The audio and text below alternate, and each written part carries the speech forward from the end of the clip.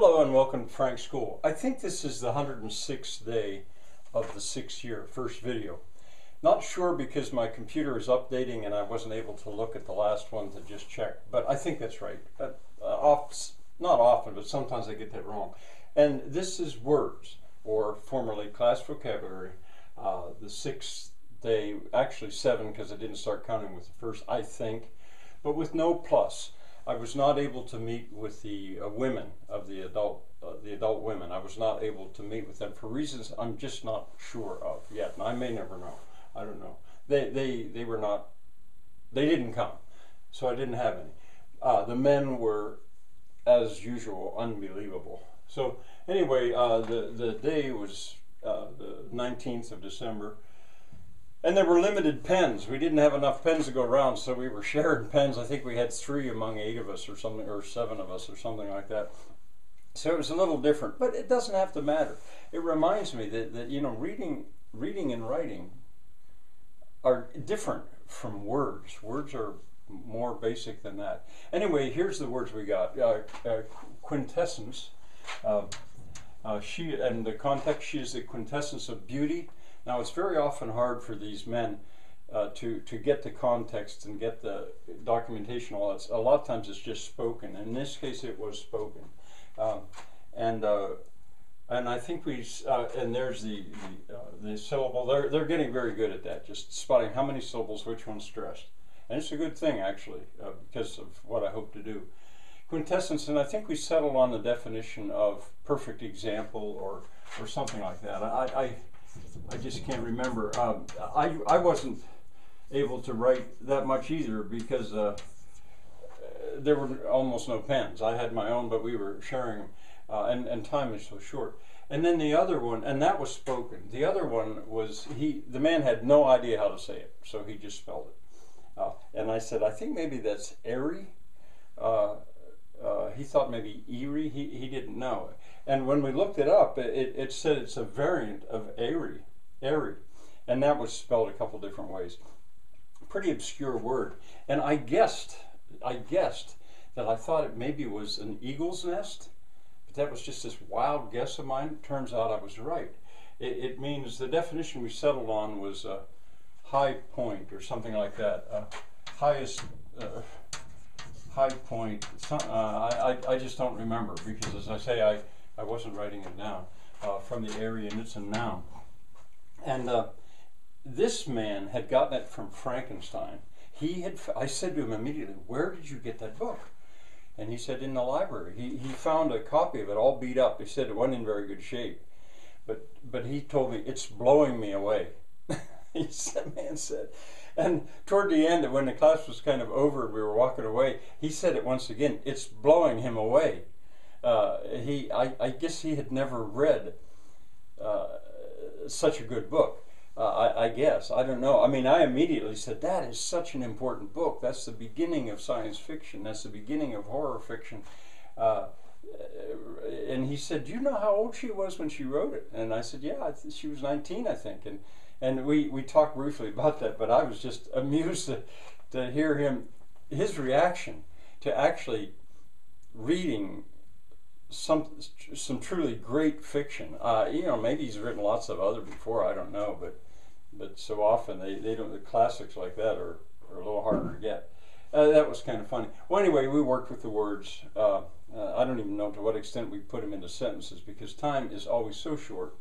Uh, well, anyway, that's that's the words. That's the backbone. We, we did that, and and there were, no, as I said already, there there were the, the women didn't come, so there was no words plus that day. Now I had some sort of Christmas presents, and I was able to get some of them, well, to the men, basically all of them there. I had, I don't know if you're going to be able to see these or not, but but there there are two. Uh, we now have a copier that that works.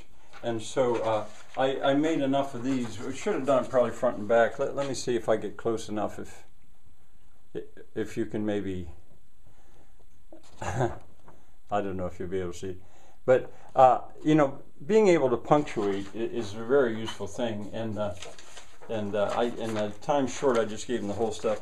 The rhyme chart, you know, I'm not I'm not positive if they're going to be able I'm pretty sure they're going to start to write verse, if not poetry, as well. And I didn't really have time to teach it yet, but I thought, well, I'll show them the stuff anyway. Uh, the first, uh, the uh, origin of, of, the English language, you know, that, that would take some explaining. I, well, no, I did explain that. Uh, the rest I said, hey, you're just going to have to look at it and figure it out. So that was a success. I, I had taken a, a, another copy of this, Story Poems, in to show them.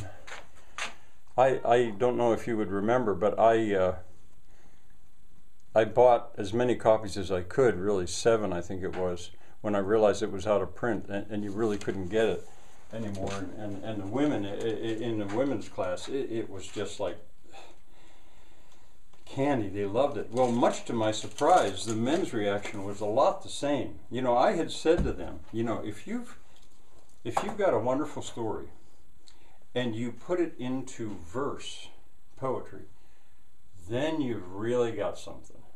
And they're believing me. they're believing what I say. And uh, boy, they wanted this. And I was able to leave them a copy.